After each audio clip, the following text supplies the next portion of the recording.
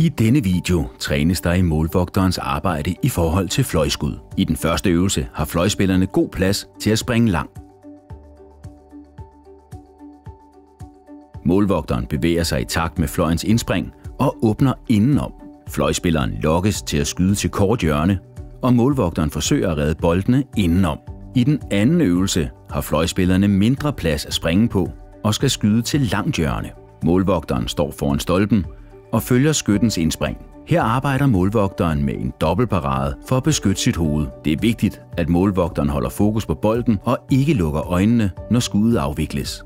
I den tredje øvelse har fløjspillerne stadig mindre plads at springe på og foretager en presset afslutning. Målvogteren står foran stolpen og følger fløjens indspring og forsøger at lukke indenom.